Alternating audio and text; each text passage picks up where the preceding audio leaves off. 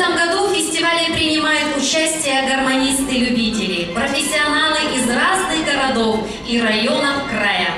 Фестиваль помогает выявить и поддержать мастеров народного творчества, открывает новые имена.